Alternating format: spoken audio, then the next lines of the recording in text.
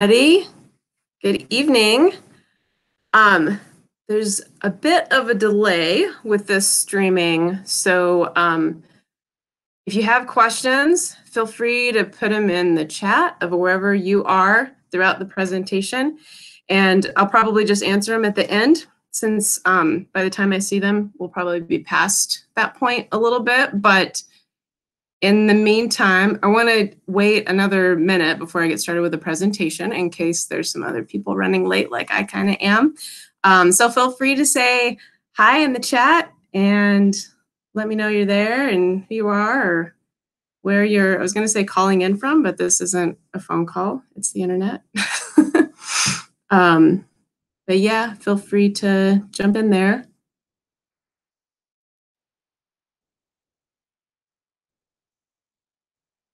And then I'm also probably while um, I'm giving this presentation, I'm going to turn my camera off just to, that seems to make the, the quality of the videos and stuff a little bit better.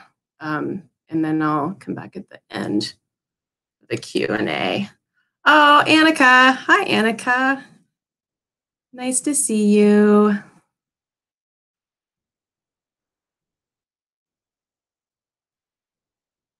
Hey, Jeff. Nice to see you too. Alrighty. I'm going to go ahead and cut my camera off and get started.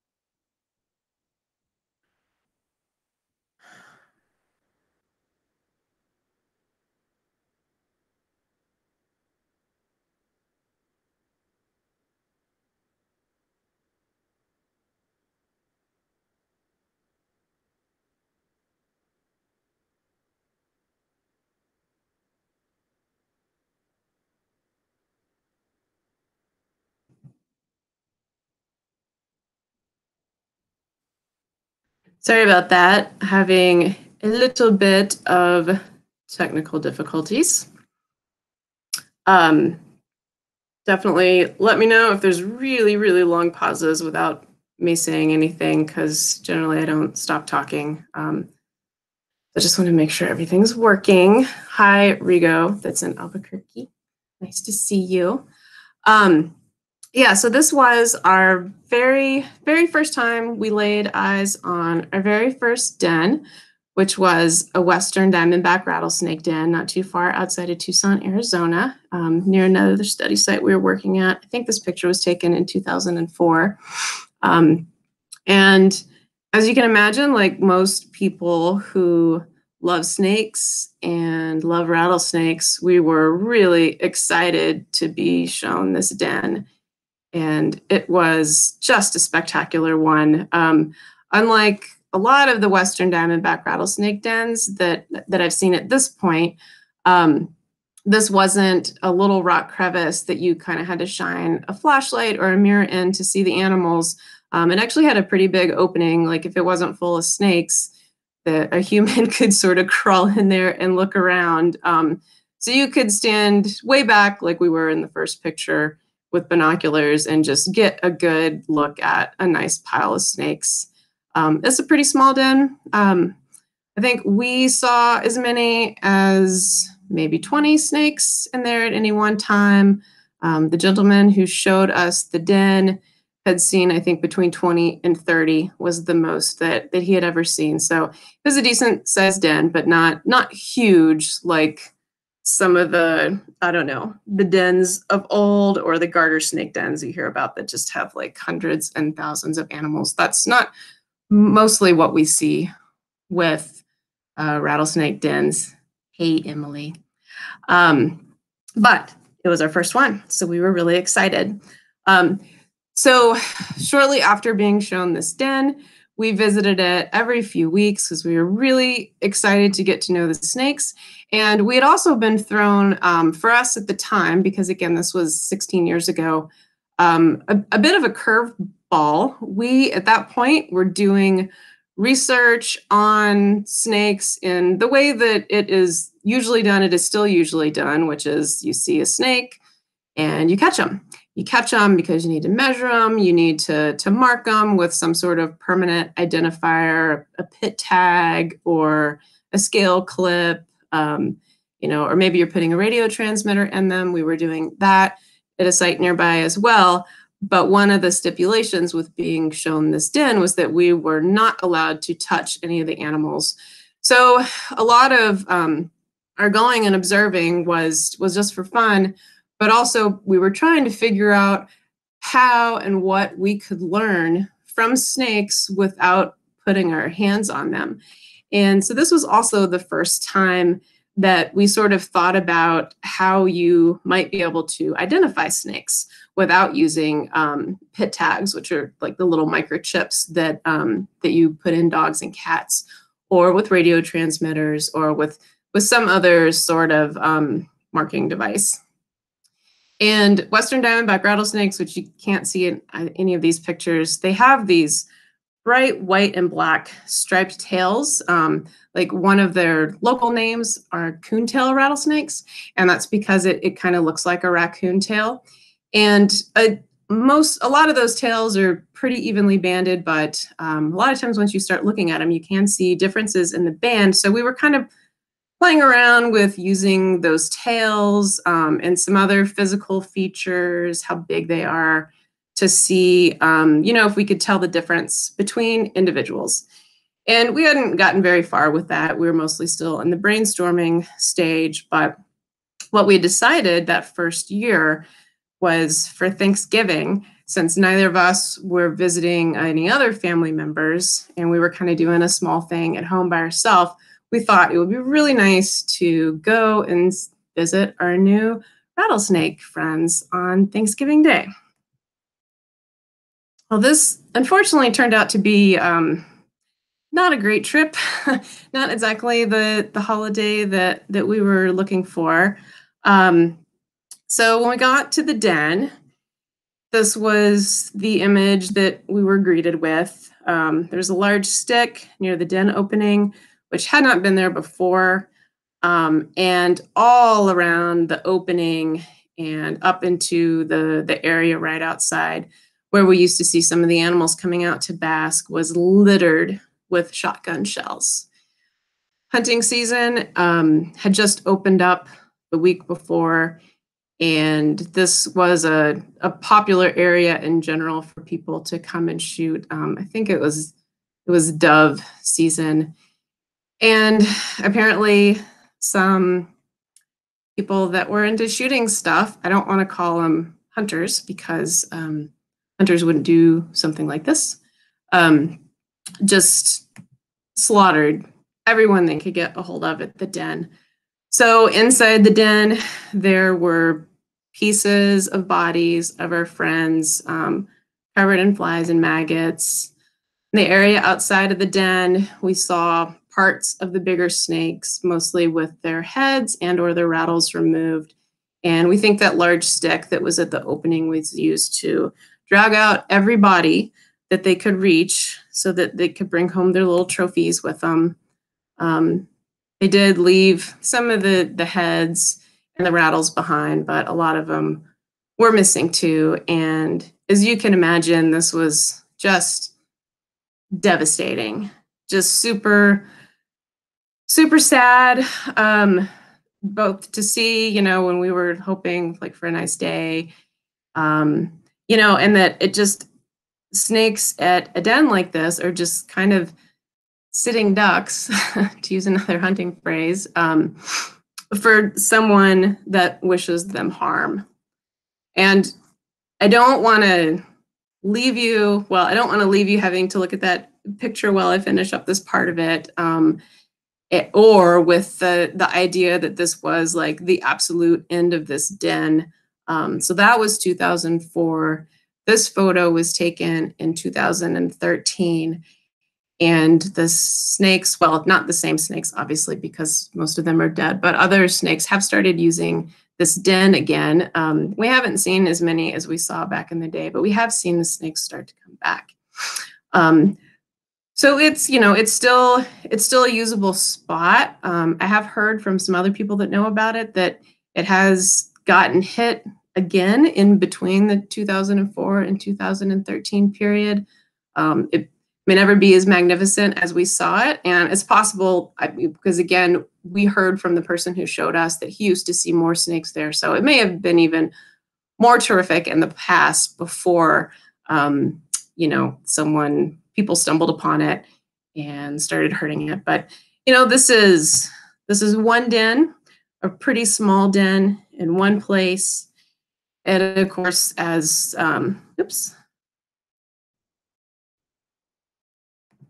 Um, as most of you know, um, rattlesnake roundups largely depend on dens to find enough animals for their festivals. Um, it's it would be impossible to collect the amount of rattlesnakes that they have at roundups by any other way than getting them out of dens. And, you know, so we were heartbroken over, you know, 15, 20, 20 animals getting killed at this den. But for rattlesnake roundups, we're talking about thousands and in some years, tens of thousands that are taken um, for these horrific events.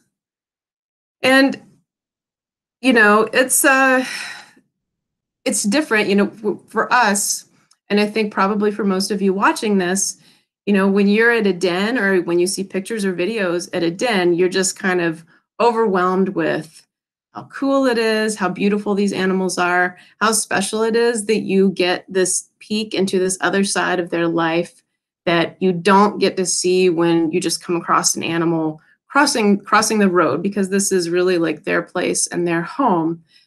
But for many people, um, that's not what they see. When they look at this picture, which I'm showing now, which is um, a group of Arizona black rattlesnakes basking outside of their den, um, that fills most people or many people with with fear or loathing. And to a lot of people, you know, if you come across something like that, a big pile of rattlesnakes, you know, they see that as a threat to public safety and so they feel like they're doing a public service probably by killing all the animals at that den. And you know, so I think a lot of a lot of our work and what we're hoping to put out there when we talk about these behaviors at dens specifically, and also just about um, all the rattlesnake behavior in general that's not what people think, not just, you know, killing and, and biting people, um, you know, we're hoping that someone can look on a pile of snakes like this and not see this, you know, horrific threat to public safety that needs to be taken care of, but a group of friends or an extended family. And so the next time that we were shown a den and in in between times we we got to observe a lot of other western diamondback dens um, but you know, at this point, moving forward in time to 2010, um, we were working on Arizona black rattlesnakes and studying some unrelated questions that I don't want to get into because that's pretty off topic. But um, but when we were shown um, this special place, these dens um, in central Arizona, where we did the study that we're talking about tonight, you know, we we really wanted to see if there was a way that, again, without handling the animals, if we could find out what was going on here, why these animals were were hanging out, and if there was something going on, more going on than just, you know, it gets cold in the winter and they need to find a place to be. But why we're at these places, why are they at these place this place together? So we have a couple questions. I mean, actually, we had a ton of questions when we when we got here, but there's a couple questions that um, that I'm going to answer for you tonight with some of the data from the study. And the first one was are individuals within these sites selective about whom they associate with? And when I when I say associate, so think about that picture that's in the background now that I just showed you. Um, and so we're talking about animals that are basking together on the surface. So they all share the same den, so they associate in that way. But what we had already started to observe was that all of the animals that use the den are not hanging out together on the out on the outside all at once. Um, so was there something to that? Were they selecting within those den for particular members that they, they wanted to hang out with or not? And so on that, uh, whether or not they're selective in general, but also for those selections, do they have prefer, preferred or avoided companions, which is a very boring way of saying, do rattlesnakes have friends and do they have enemies, even within this den that they all share, this group? So those are the two questions that largely guided a lot of this research into social behavior at this den. All right, so a little bit of background on Arizona black rattlesnakes for those who aren't familiar. Um, scientific name is Crotalus cerberus. I will try to stick to calling them Arizona black rattlesnakes. My shorthand nickname has always been Cerbs. So if that, if I slip into that, that's who I'm talking about still. Um, so they're medium-sized pit viper. The adults are typically between one and a half and three feet. So not huge, not like Western Diamondback or Eastern Diamondback size. Um, and they live mostly in Arizona um, along the Mogollon Rim. And they also extend into like extreme Western New Mexico. And they're like a, a mid-elevation rattlesnake. And the um, so you can get them as low as around 2,900 feet. Um, usually when they're that low in elevation, they're associated with riparian areas um, because they, they really seem to need a place that has a lot of tree and brush cover. Like they don't, they're not a desert animal, even though they live in the, the Southwestern US. Um, they really like the forest and they can get pretty high up in the forest as well. And then important to, to this study, for social behavior and and why we we picked them. I mean, we didn't pick them in the sense of like we wanted to study social behavior and so what's a good animal, but you know, it would be harder to study. it would have been really hard to do the study if they didn't overwinter in groups. So if they didn't have communal dens. Um, and this is something that they do not always do. Since we've done this work, um, we have tracked some Arizona black rattlesnakes with radio telemetry in other places, and we have found that sometimes um, there are individuals who overwinter alone, even at the same place, like within crawling distance of a communal den, but they don't apparently all go to those dens, which is kind of interesting. And they also gestate in groups. And so that is referring to um, rookeries, which we talk about a lot on our blog and in our email newsletters and stuff. So that's the, the pregnant females hanging out together over the summer before they give birth. And then often they, they also end up taking care of each other's kids. And so that's another behavior that Arizona black rattlesnakes do. And that was the, the first species that, um, that I got to observe that behavior in. All right, so at, um, at this site, we had two dens. Um, and they were only about 400 yards away from each other. And that is a distance that is easily crossed by a rattlesnake during the active season, even a young one. Um, but they were, as we'll get into, they were very separate communities for the for the sake of denning. The same snakes used the same the same site um, every year. There was no mixing between those that that we have seen um, in the history now of 10 years that we and others have been monitoring this site. I don't think anyone has documented that animals have have switched switched in sites. So in between those two sites, there were a little over 100 individual rattlesnakes, 26 adult females, 20 males, and 61 juveniles. So the reason the juveniles aren't assigned a sex is because for most of these snakes, we were sexing them just based on how they looked. Um, we didn't handle most of them. Um, and they don't develop the secondary sexual characteristics that enable us to tell if they're males and females until they reach maturity. So those 61 snakes were animals that just weren't old enough to look like males or females. And in this and a lot of the other rattlesnake species in the US, um, males tend to be relatively larger. They have longer tails and they also have relatively wider heads. And this gets to be pretty easy in this species to tell the difference after they're about five to six years old. And, um, and that's about the time when the females go into their first pregnancy and they tend to divert all their resources to that pregnancy and those babies and the males just keep growing and keep getting bigger and that's that's probably why there's a difference in size for for rattlesnakes. So as I've mentioned a couple times, um, we wanted to handle the snakes as little as possible, um, both because you know we don't want to disturb them, but also we wanted to observe their behavior and we wanted to observe their natural behavior, not just animals freaking out. And if every time we had come up to a pile of snakes outside the den, if we had started grabbing everybody, um, we, we wouldn't have gotten to see much. Um, so we needed to to find another way to tell who was who for this, this particular study.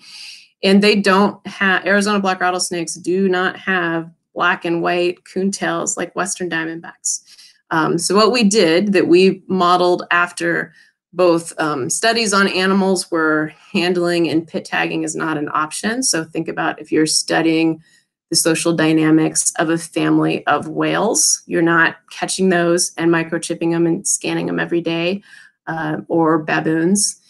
Um, and a friend of ours who has been studying rock rattlesnakes and ridge-nosed rattlesnakes in the same way, and he uses variations in their pattern. So Arizona black rattlesnakes have these blotches down their back, kind of like the diamonds on Western diamondbacks. And um, they're not uh, they don't always look the same. And it, you know once you start looking for these well like you can't stop. You're always looking for these weird little blotches every time you see a new snake that has blotches. Um, and they don't change throughout their life. So as the snake gets bigger the blotches grow with them but the weird shape and their position on the body don't change so this picture um, are three photographs of the same snake. Her name is Zona. She was one of the, the earliest ones that we encountered at this site. And also because the first time we encountered her, she was not right at the den or in one of the communal nest sites. So we did catch her. And that was sort of our method in general up there as the snakes um, left the den, as long as they weren't at one of these special sites uh, we would catch them because we were hoping to eventually follow this up with a with a DNA study to look at how you know relatedness plays part in their social behavior.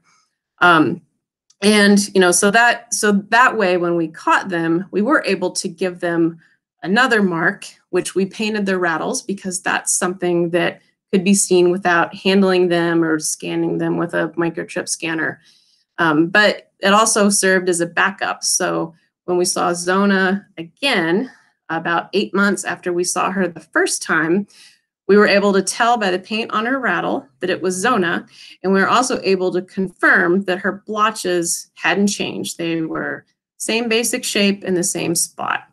Um, so the colored circles on these photos are, are the same blotches. So the red one is her number nine blotch, and it has what we called a Florida because you, I mean, you can kind of see it has a little tail. It sort of looks like the Florida of the US.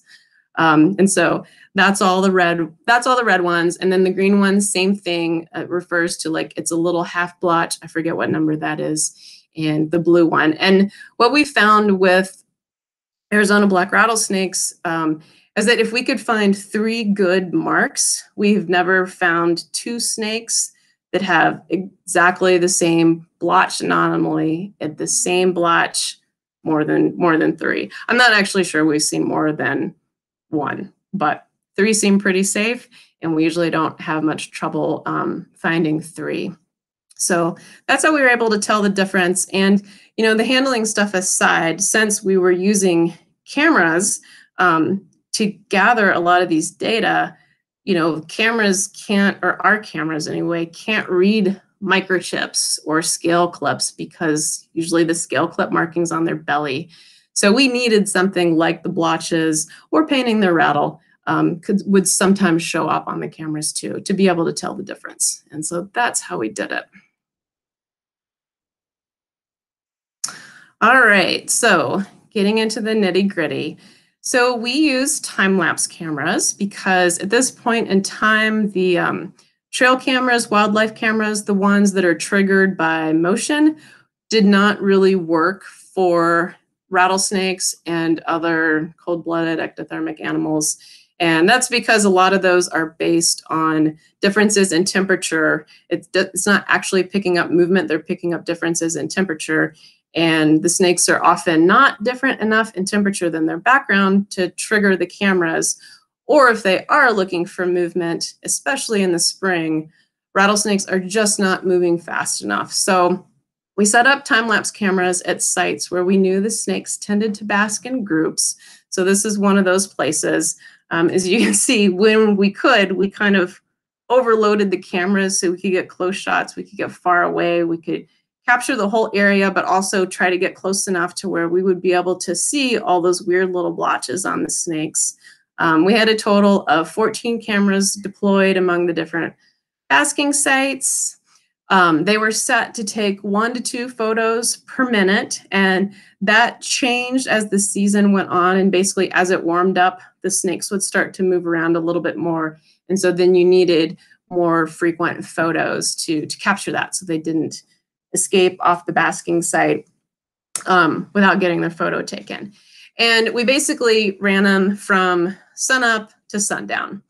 The cameras didn't take photos at night. They're not equipped with flash flashes. Um, and at this site, because we're at about a mile high in elevation and it's central Arizona, um, it was too cold at night for the snakes to be out. And usually we could see all the snakes going inside before the cameras shut off and it was fully dark um, at least for for the bulk. Like towards the end, we did this throughout the month of April and into mid mid May ish, and so there it's starting to warm up enough where sometimes the snakes would would still be out as the camera shut down. But also at that point, most of the animals were gone. We had to visit the the cameras and the sites um, about every every day to check on the batteries, to switch out memory cards and the cameras. And when we did that, if there were snakes around, although we, we tried to go early and late enough that there wouldn't be that much activity, so we wouldn't disturb their behavior. Um, but if there were snakes out, we would take take other photos, and that was mostly just to get better angles, again, to make sure that we could capture those blotch anomalies that would enable us to tell who's who. And so that way, um, we had backups sometimes for the for the time lapse camera data. Um, so we could see again, just to mostly to identify them. Those didn't account for any like separate association data. All right.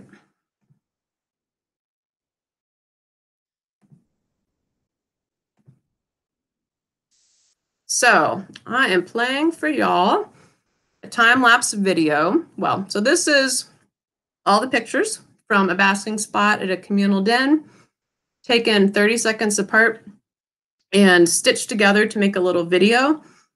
This is how we looked at the data taken by the cameras. Um, we'd stitch it into a video, watch it, you know, and as you can see, this is actually not a site included in the study. This was a different den in another place, but there's lots of stuff going on here. And man, given enough time and years and sites, it would be really interesting to see the way that they're moving together and apart and what they're doing with each other and what all of that different stuff means. But for this study, it was really just about whether or not the snakes were together.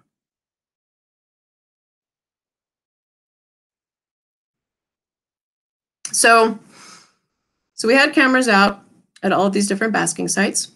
And like I said, we stitched the photos together, made little videos. Um, but to to analyze this and to be statistically rigorous, you know, we needed to to take those those videos and pictures and turn them into data. And so because this was the first time anyone had really looked at this, like I said, we we just looked at whether the snakes were associating or not. And the way that our cameras were set up, everyone in the frame was within a body, a snake's body length away from each other. And we knew from previous work that that is close enough where the snakes should be able, if they care to, identify other individuals by their smell, which is we think the main way that snakes communicate with each other. So if they were on the frame together, we counted that as an association. And so we're watching those videos and every time we're like taking notes on on who's together. Oh, let's not go back to that.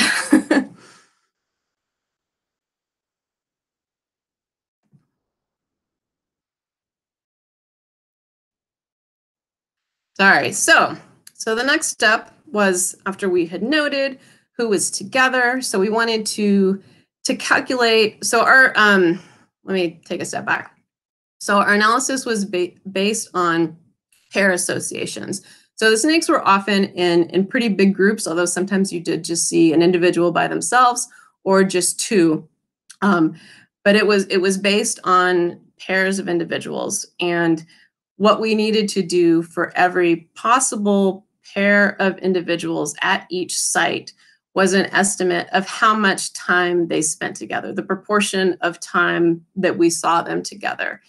And so this cute little equation here is, is how we did that. We took the photos from the time-lapse videos and, and then calculated half-weight association index.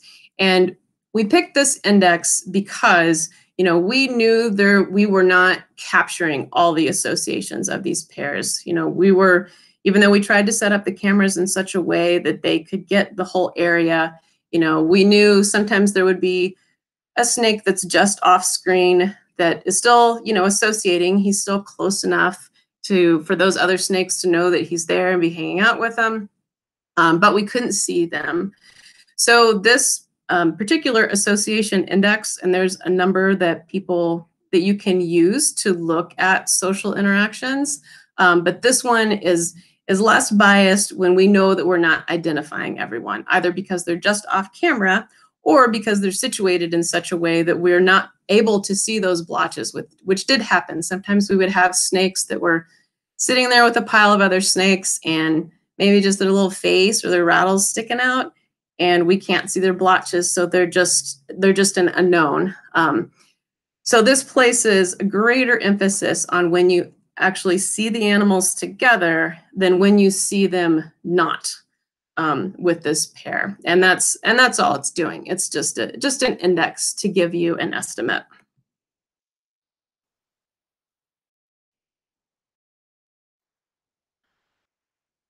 So the next thing we do is we look at all possible pairs at each um, den area or community.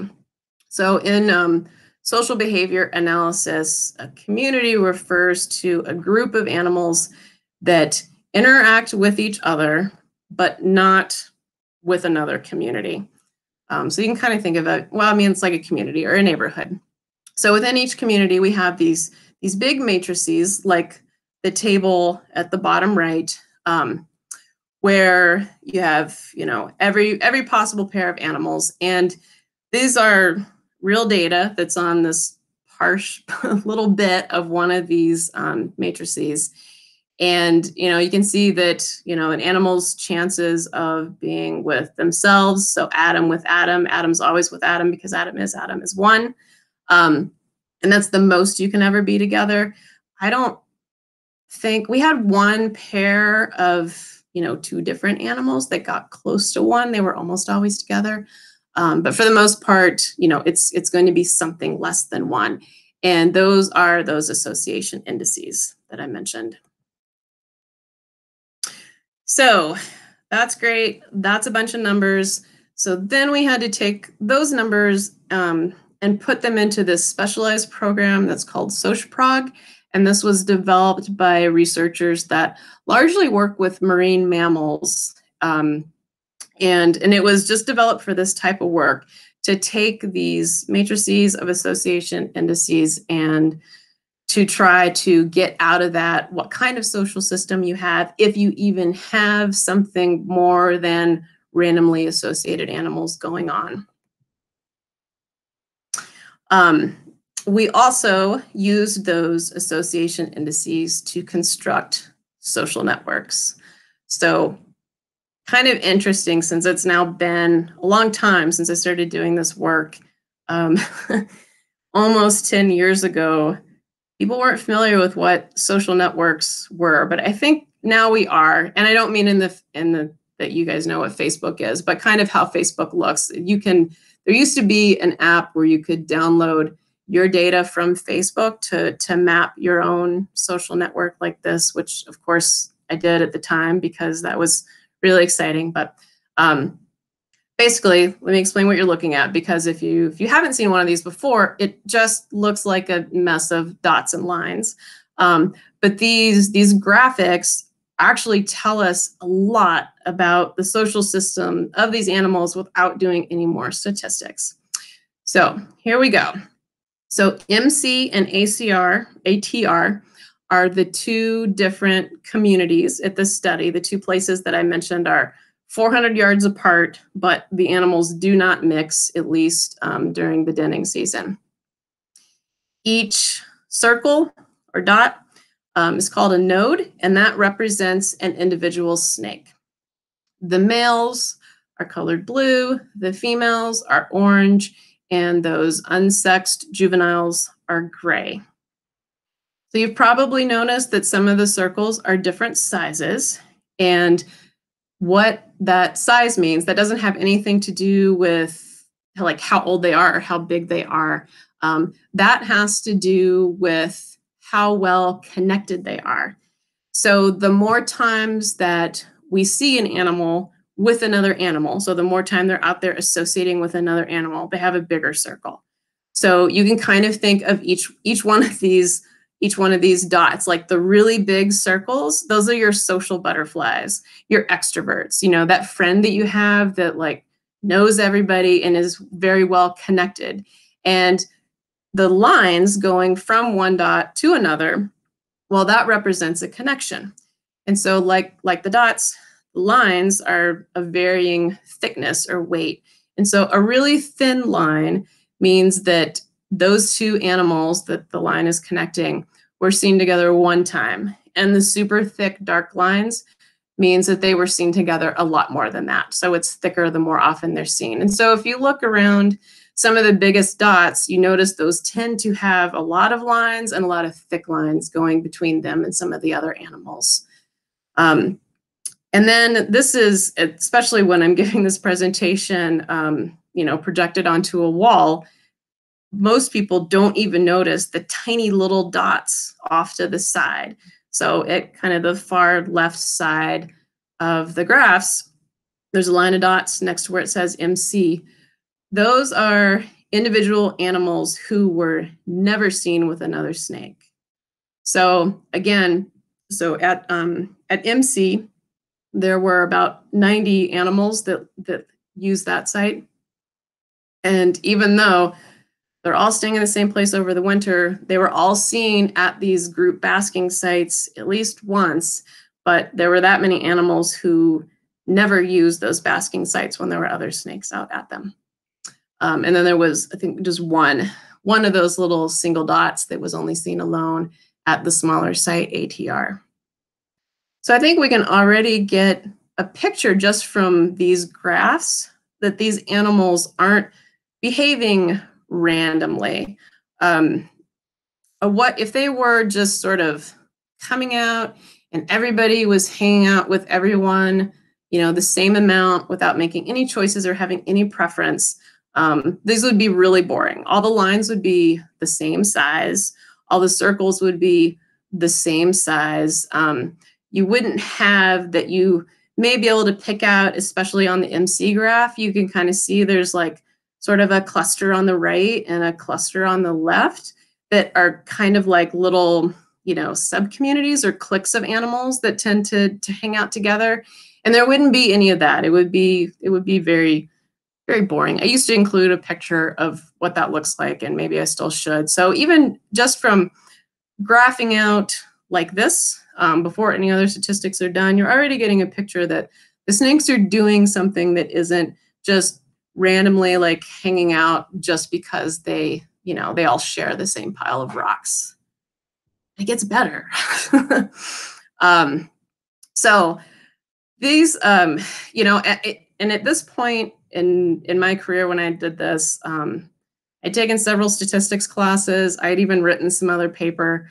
The statistics and the analysis for analyzing social behavior is so different from anything else, and it is it's very confusing. Um, and even every time I revisit this to talk about it, I have to to kind of relearn it too. So don't feel bad if it's confusing, is what I'm saying, because it is it, it just is confusing. Um, it's not the sort of uh, it's not the same sort of analysis you're used to with other with other science stuff, unless you also study social behavior, and then hopefully I'm explaining this correctly. um, so we found that they they do choose who they're associating with and avoiding others. And so what that SocProg program does is for each day, because we assumed that there could be some external factors that have nothing to do with social behavior and who they choose that is making them come outside of their den at all on a certain day. Like some days it might be too cold for any of the juveniles to come out. Or, you know, we seem to see that the different age and sex classes kind of came out in waves. Like males tended to leave the den first and pregnant females tended to never leave and just sort of hang out whereas those who had given birth the previous year because they were likely very very hungry they came out basked a day and like left. So there there were other factors that determined if we would see them at all that day. Um, so that program would take all the animals that we had seen out that day. Um, and of course, it knew because we told them, you know, who had associated with who. And then it basically would like model every possible variation of that. It would take all those associations and, and mix them up and put them in completely different groups. And it did that, I forget how many times we told it to do that, like 10,000 times or something. Um, and what you get after you mix it up a lot is you get a picture of what random looks like. If they're just associating with, you know, again, kind of throw up the cards and see what kind of piles they they land in, and they're going to be different every time. Um, and so you get a picture of like what a population or what a community of randomly associating snakes look like. And then you can compare that to what our animals are doing. And so the graph, the graphs, um, we have the, the bigger site MC on the left and the smaller site, ATR on the right. And it starts off with the with the all category, so just looking at with all possible types of pairs of snakes. Um, and then it's female juvenile, female female, female male, male male, male juvenile, and juvenile juvenile. The orange bars are what the real snakes are doing, and the gray bars are what those like randomly associated snakes that were modeled from the SocProg program. And what the graph is showing is it's it's not showing like the number of associations. So so what's on the, the y-axis is how variable they are. And what you would expect if you have animals that are making choices about who they want to sit with and who they're trying to avoid is that that is going to be more variable than randomly associated individuals because they don't care and they're just sitting out with whoever. Um, and so that's what we see with almost all of these categories is that the orange bar is much greater than the gray. And we didn't just use a graph for this. We, uh, you know, the SocialProg program like allows you to do statistics where you can get a p-value to look at, you know, if this is statistically significantly different. And it was in all cases except female female and juvenile juvenile pairs at the smaller site, ATR. And, you know, you can never say for sure, but there were only 19 individual snakes that used ATR. And there was a very large proportion of males there. So there just weren't a lot of females and juveniles. So it would have been really hard for them to show any statistical significance because they were small. But, you know, uh, it could also be that they're just doing things differently because they're individual snakes and they just do do different stuff.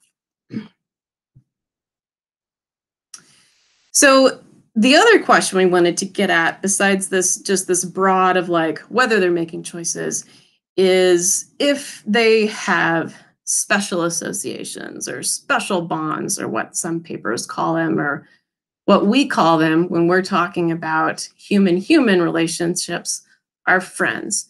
So just, you know, we see it felt like we saw Priscilla and Moleman together a lot. But are those two, you know, actually friends? Did we see them together enough to be friends? And so what we found was that, yeah, some rattlesnakes do have friends. Also, some of them didn't in our study. And the way we looked at this was, you know, thinking back to those association indices that estimated um, how much time different pairs spent together. Um, so again, we have the SocialProg program generate what um, sort of like uh, the amount of time a random pair of snakes would be together. And you know, we class classified following some some other studies on other animals um, that if a pair of snakes were their association indices. So if they were hanging out together more than twice as much as what that that random pair of snakes was doing, then we called that friends or preferred companions. I think is what I used in the thesis because my committee would not let me use the word friends. Whatever. Um, and this was actually after we had gotten rid of all the, the zero associations. So we, we didn't include that when we were calculating what the average random snake would do. We wanted to get rid of the zeros to make this as conservative as possible. Um, so yeah, we did we did find some. So there were the only type of friendship that we did not see were male males. And that was also a pretty small group of animals. And you would see them together a lot, but again, this just says that there was never um, any two that were together enough to pass that threshold into the friends, but lots of female female pairs, um, and there were female male and female juvenile and male juvenile and juvenile juvenile um, pairs of friends too.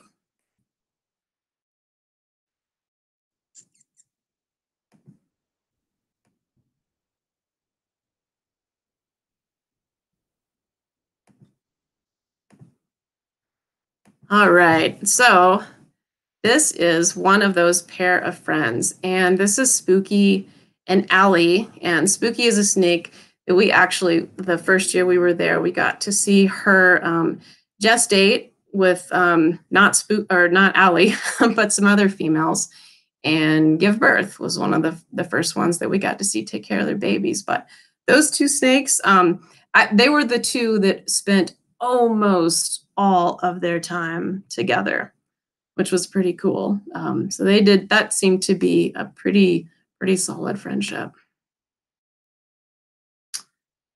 All right, so I wanted to see if I could pull up actually before we, go to questions, um, one more video.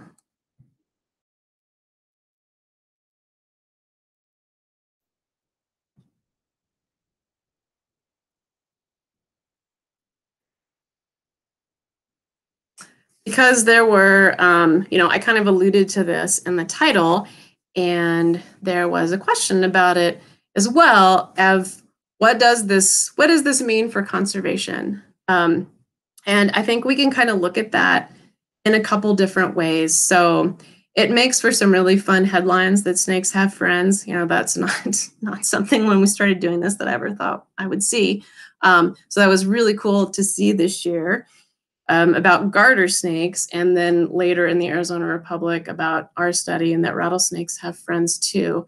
Um, but you know, if we think about some of the the conservation actions that we take with snakes in sort of the traditional conservation sense, so doing head starting programs, which is when you raise animals in captivity and then release them when you're trying to build up a population, um, or conservation translocations. So say there's an area like somebody's getting ready to build a golf course and they want and there's a snake den there and you want to remove all the snakes and move them somewhere else.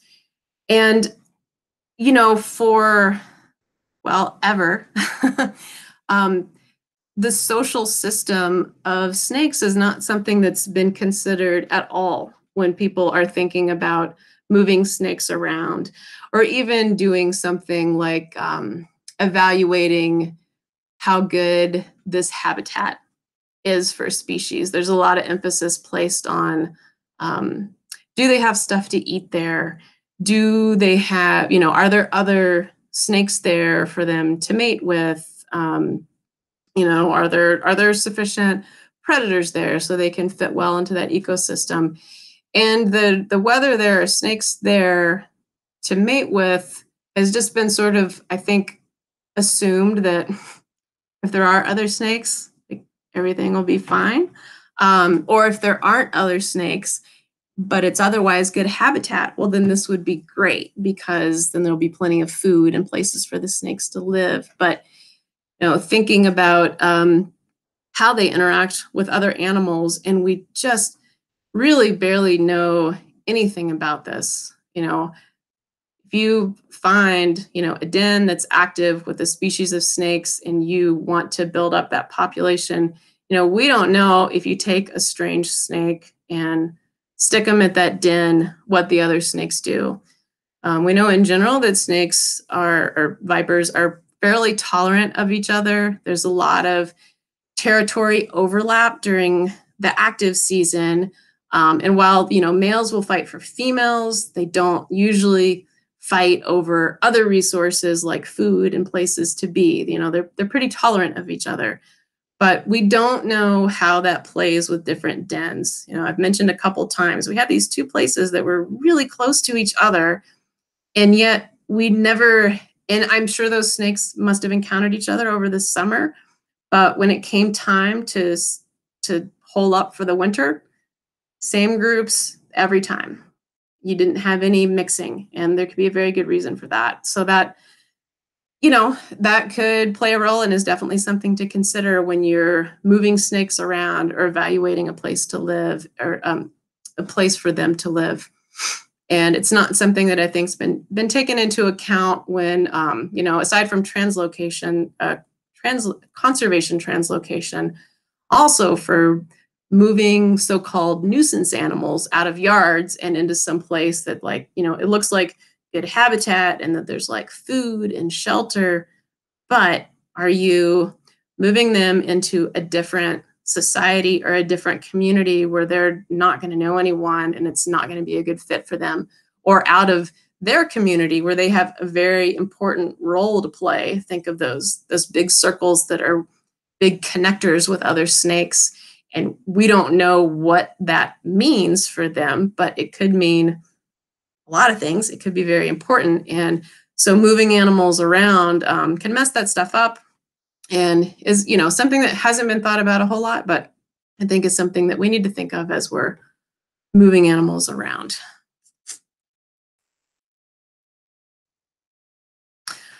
And then there is, of course, as y'all probably expected to hear from us, um, thinking about snakes in a den as not being a pile of vicious, cold blooded killers that are out to get us, but um, these are a bunch of buddies. Um, they chose to be together. Some of these animals are friends.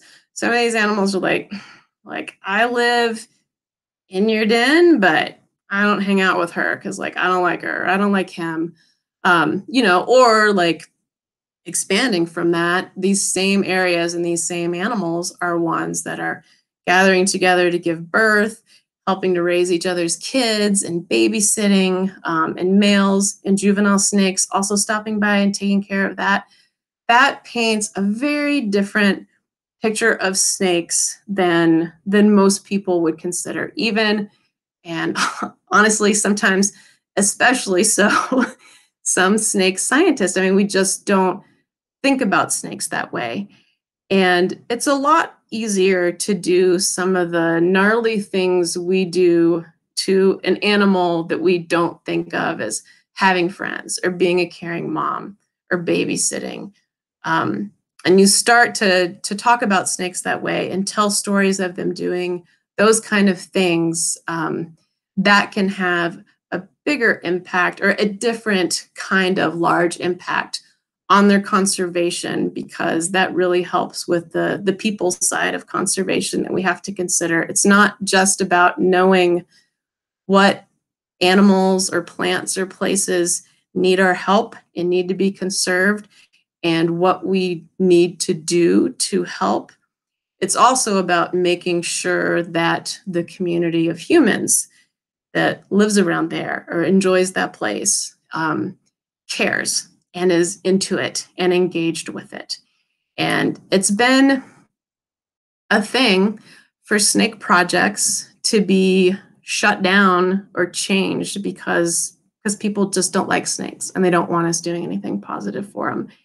And so we're really hoping that um, and it's it's really cool giving this presentation and talking about this now in fall of 2020 because earlier this year, a study came out seeing some of these same things in common garter snakes, which are not, very, as you can imagine, not very closely related to Arizona black rattlesnakes, but we're seeing some of the same stuff with the social networking and making choices about who they associated with and that they chose to be around other snakes rather than separate. And so I think it's important to start talking about snakes this way and thinking about snakes this way. And I really hope that um, other people can do work like this too, because I need to find out all the things about snakes, right? Those are cool. So, all right. Now I'll take questions if y'all have any. And I'm just going to start reviewing the chat just to see what's there because again there's a little bit of a delay so it makes it kind of weird for interacting with questions. Um, yeah katie on youtube says that this is really interesting. Never considered that snakes might be social animals at all. Yeah i no one did. I when we started this study almost 10 years ago um, we were laughed at the most by other snake scientists um, who just you know, assumed that, and this is this was the thought for so many years that the you know the snakes were together only because there were limited places for them to be. The only reason that they would share a site like that is because they had nowhere else to go where they wouldn't freeze to death. But because of our experience looking at places um, like Jason's den, the, the Western Diamondback den in the very beginning, um, that's just outside of Tucson the snakes are not freezing to death outside of Tucson, Arizona. Like it's not it's not that cold. There are plenty of rock piles. They could be by themselves if they wanted to. And actually what we've seen with western diamondbacks is they will often be together and then be separate for reasons that are very different than what's going on at Arizona black rattlesnake dens. Um, so so yeah, so we knew it that didn't explain all associations of snakes. Um, so it's again, it's really nice to see that now there are studies coming out in other species of snakes that are showing the same thing. So that's cool. um, so Steve asked if we know what snakes use to identify each other. That's a very good question. So there was there was a study by Rulon Clark and colleagues um, a few years before we did this work that um, that demonstrated that snakes could identify other individuals. And it didn't really look at the mechanism, but we assume that it's chemical communications. Um, snakes, they can see, they're not blind. Um, and they can hear some things, but their hearing is pretty limited. But they have a really awesome sense of smell. And there has been other work that that shows that they can do things like um, when rattlesnakes are rattling, they release an, an alarm pheromone, which is which is an odor um, that's used for communication, and other snakes can pick up on that. And so we assume that that is how they're identifying other individuals is by their smell. And a few times at the dens and other places, um, you'll see a new snake kind of approach an existing pile of snakes and they'll kind of rub their face on each other a little bit and there's like increased tongue flicking whereas usually when they're sitting outside a den there's just nothing going on and and so i think that's their way of kind of you know trying to figure out who that other snake is and if it's you know someone who's supposed to be there or not i guess. Um, Annika asked if we ended up doing the genetic analyses um, and did we see any substantial friendships between closely related snakes, siblings, parent, offspring, cousins, etc.? Excellent question. Um, no, unfortunately, we have not been able to do the genetic analyses um, because when we were spending every day there doing this study, our emphasis was on getting the behavioral observations, which meant that we did not get to handle a lot of snakes. You know, our, our rule was that they had to leave these social sites before we would pick them up um, to get uh, genetic samples. Um, they don't shed, at least um, outside of their den where we can see it in the spring. So that would have been excellent, but not not an option for us. We really had to get a hold of the animals to take a scale clip or a little bit of blood, and we rarely saw them as they left.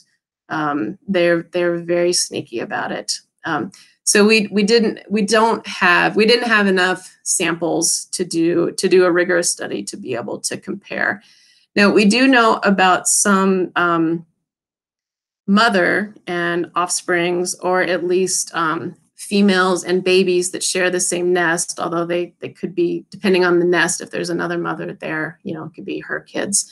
So we did have some of that, but there wasn't, um, and again, there weren't enough instances of it to statistically look at if those were more likely to be friends or not. Um, but a couple pairs that we knew of um, surprisingly didn't hang out that much. Although we did get, we have some some cool videos, which actually we're like working on putting together to share right now of a mother, a, a, really sweet interaction between a mother and a and a baby from the previous summer at the den in the spring, hanging out. Um, but but yeah, not not enough times together to um to stay. And part of that, at least with the the newborn babies, or the the youngest babies is that they leave pretty early. I think they're also hungry, eager to get going in life because they're born not that much long before they have to to go into the den. Um, and I imagine some of them do that without eating at all. So they're they're anxious to to get out of there as soon as they're ready to start hunting and stuff. All right. So Stuck in Florida says at one time they thought only humans had those social interactions and then, yeah, I know, totally. And so, and then they moved to like, well, I guess it's just like primates. And it's like, okay, I guess all mammals. And now studies like this are showing that interaction, these are happening in fish and reptiles. Um, a, a lot of studies like this on birds too, of course. I don't think many people have trouble being skeptical of, of birds being social. Um, yeah, and and honestly, like some of the the most like complex and interesting social systems are in insects Um, so it's definitely not just humans or not just mammals. Um, working together and being together is a, a, strategy that works for a lot of animals. Um, and there's even like some stuff starting to come out about how plants cooperate with each other, which is cool. Um, yeah, so Katie also says ants do as well. Yeah, it is. There's um, there's a lot of when I was first digging into this when we started this this study, um, looking at some of the insect stuff. It's it's really really cool. Alrighty, so we've been going over an hour, and I did not mean to keep y'all all night. This is getting late for for some old people. But um, I so I think I'm going to wrap it up here shortly.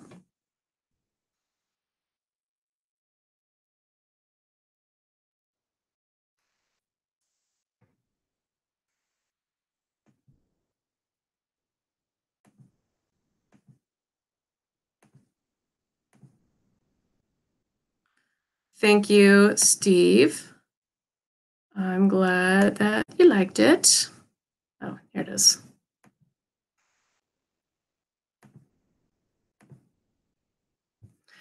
Sorry, I like juggling around with um, technology trying to uh, to find the camera again so you can see a face instead of that just still image.